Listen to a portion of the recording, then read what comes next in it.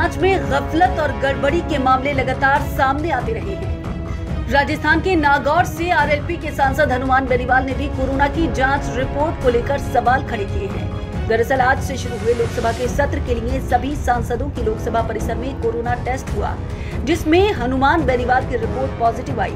इसके बाद जयपुर में बेनीवाल ने दोबारा एसएमएस हॉस्पिटल में अपनी कोरोना जाँच करवाई और इस बार उनकी रिपोर्ट नेगेटिव आई।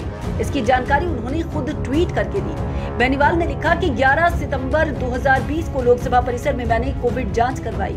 जिसके संबंध में 13 सितंबर को मुझे फ़ोन पर लोकसभा सचिवालय में बताया गया कि मैं कोरोना पॉजिटिव पाया गया हूँ। बेनीवाल ने ट्वीट में लिखा कि इस दौरान मैं जयपुर में ही था। लिहाजा वरिष्ठ चिकित्सकों से सलाह करके जयपुर एसएमएस में कोरोना की जाँच के लिए दोबारा सैंपल दिया, जिसकी रिपोर्ट मुझे अभी प्राप्त हुई, जो नेगेटिव आई है। मैं पूर्ण रूप से स्वस्थ हूँ। सांसद ने ट्वीट करते हुए लिखा कि मैंने लोकसभा परिसर में कोविड 19 की जाँच करवाई, जो पॉजिटिव आई।